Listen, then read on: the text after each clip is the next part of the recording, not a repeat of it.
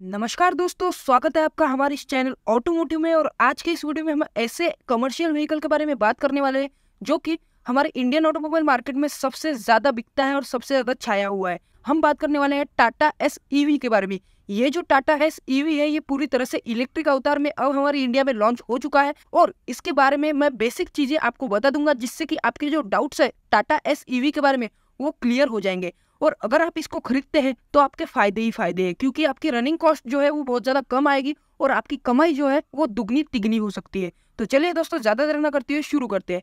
सबसे पहले बात कर लेते हैं इसकी बैटरी के बारे में। इसके अंदर आपको 27.2 किलोवाट की बैटरी मिलती है, जो कि सैतीस एचपी की पावर जनरेट करती है और 130 एनएम का टॉर्क जनरेट करती है, जो कि बहुत ही ज़्यादा बड़ी बात है। अगर हम बात करें इस बैटरी का चार्जिंग टाइम के बारे में, छह से सात घंटों में ये जो इलेक्ट्रिक टाटा एस है, ये पूरी तरह से चार्ज हो जाता है। और एक बार फुल चार्ज हो जाने के बाद ये आपको 155 किलोमीटर की रेंज आराम से निकाल के देने वाला है। अब बात कर लेते हैं पे के बारे में। तो यहाँ पर कंपनी क्लेम करती है कि 600 किलो वज़न ये आराम से उठा लेगी। इसके चेसी के बारे में अगर हम बात करें, केबिन वाली चेसी आपको इसके अंदर मिलती है। बॉक्स, बॉडी कंटेनर आपको इसके अंदर देखने को मिलता है। ये सभी चीज़ें आपको इसके अंदर देखने को मिल जाती है। अब बात कर लेते हैं दोस्तों इसके डायमेंशन के बारे में मतलब कि इसकी लंबाई चौड़ाई के बारे में। तो यहाँ पर दोस्तों इसकी पूरी की पूरी जो लंबाई है वो है तीन हज़ार आठ सौ एम एम, पूरी की पूरी चौड़ाई है पंद्रह सौ एम और इसकी हाइट है छब्बीस सौ पैंतीस एम एम ग्राउंड क्लियरेंस के बारे में अगर हम बात करें तो 160 सौ mm का इसका ग्राउंड क्लियरेंस है, जिस वजह से ये पत्थरों से टकराती नहीं है, ज़मीन से ऊंचाई इसकी काफ़ी ज़्यादा अच्छी है।